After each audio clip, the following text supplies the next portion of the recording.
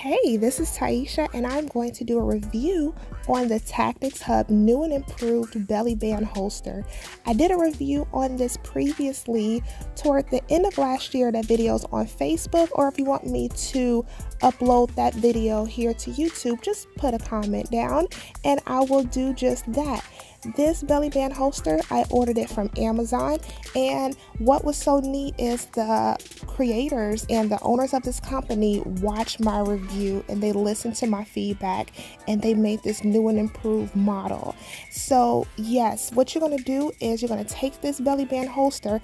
Previously, I mentioned it was for women, but it is actually unisex. It is for men and women. It eliminates the need of wearing a traditional holster or wearing a belt or clothes with belt loops. As you see, I'm wearing this with workout gear and I could not be happier. Now, what I'm using is a 380, a Ruger LCP 380.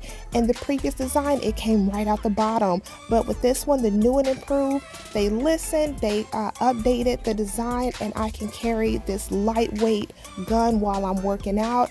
I've ran over 30 miles with this gun in this holster and I have not had any mishaps. I've been jumping around, I've been doing everything, and it stays in place. I absolutely love this holster, okay? Look at my smile. What I do is just put a loose fitting shirt over it. Now, what I'm gonna do is practice some dry fire, and I'll show you just how I do that with such a small weapon. I'm showing you right now that I have no ammunition on board. You know, you have to follow those cardinal safety rules with firearms. Now, what I do is I keep this weapon close to me when I I'm going to fire.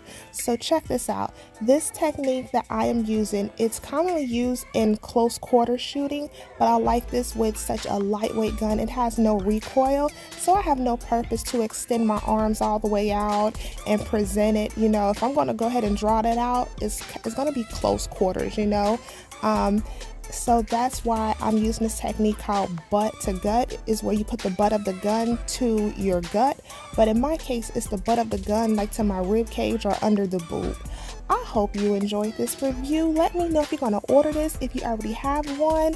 Um, any feedback, I'm going to leave the link to this holster in the description, also to their Instagram page.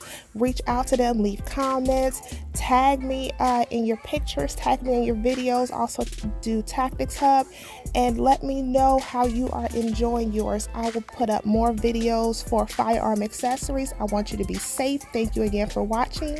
See you next time.